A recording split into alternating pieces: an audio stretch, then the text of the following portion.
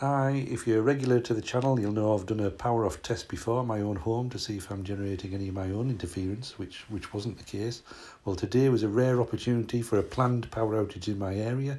This power pole, which is faulty, it's got a snap top and in a dangerous state, is about to be replaced. So we are going to have a, at least six hours without power. So a good opportunity to, uh, to see what the interference is like. Hope you found this video interesting. So this is a quick fly around the bands on the 5000 before the power goes off. I've made notes of each band, uh, the noise level and uh, any particular interference. Uh, here we can see uh, 6 meters is uh, about S1.5 on noise, nothing particularly uh, interfering wise. And the same for 10 meters, S2.5. and basically down the bands. The, the first point uh, have a interference is on 15 meters that I notice a lot. And it's every 70 kilohertz. You can see it on there if I go through it. See the S meter rising the noise.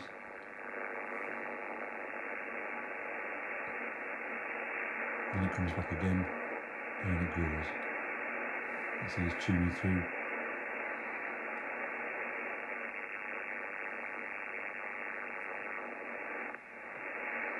So it'll be interesting to see if that goes.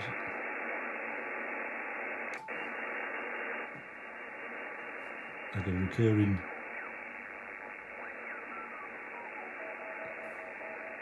beeping noise on uh, 17 meters, which is linked to my core linear being plugged into the 991A. I can remove that noise. So it'll interesting to see if the 991 here picks that up off itself because the linear will still be plugged in.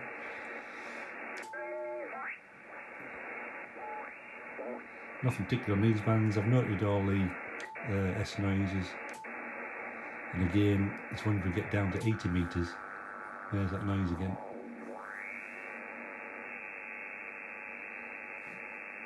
So it's about every 70, so if I go down to 700 it will come back.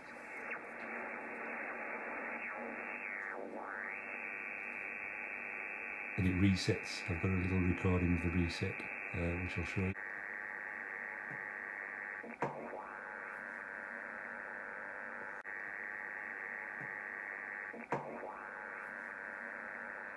So here we have the 991A running on battery so on uh, six meters, uh, got CMS one and a half.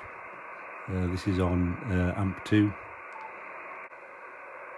So the power went off uh, bang on schedule at nine o'clock, just before I got a chance to swap the aerials over. So this is 80 on the vertical I never got a chance to compare the noise levels between the 5000 and the 991 here. But on the 5000 on IPO1 it was S6 and here we're down to S2 um, um,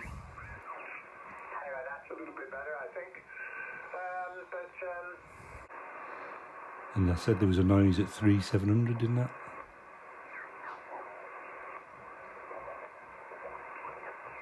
which is gone so this is the off-centre fed dipole again. Um, six metres, uh, not registering any noise whatsoever. Uh, that was S1 and a half before on amp 2.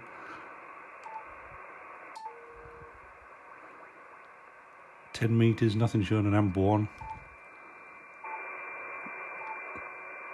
Got some background noise on amp two, uh, and that was showing S two and a half on amp one just goes to show uh, 12 metre be the same. So we come down to uh, 15 metres which is where I had that recurring noise.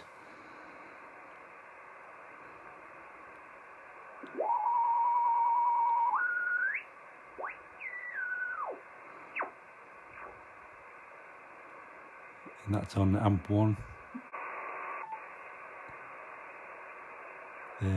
17 meters.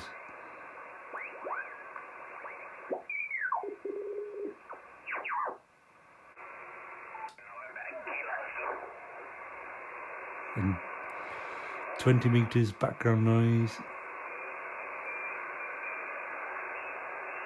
Well, on the bottom, and that was S5.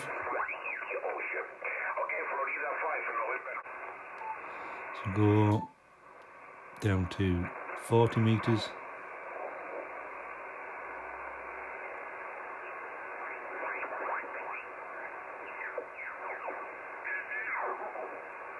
and the noise there on IPO one's gone. So all my noise is gone. How good's that? So if I lived in the country, there would be uh, something similar to that, I would imagine. Uh, that's pretty impressive. Unfortunately, the power's going to come back at tea time, and all that's going to return. But interestingly, that um, interference on 15 metres is probably worth now investigating because I know that's local to me. Every 70 kilohertz and a noise that seems to reset itself. If anyone's got any ideas, well, anyone got any more than ideas, anyone got a sort of a good uh, thought on what that might be uh, from what it is, 70 kilohertz with that reset, uh, be interested to know in the comments. Um, right, thanks very much. Hope you found that useful, interesting, frustrating even for me. Well, thank you. It's always fantastic, eh? Really fantastic to work on a dipole with 100 watts. You're not strong, but I can hear you, and you're good and readable. Good and readable. So good on you, good on you, Jeff, for 100 watts on the dipole.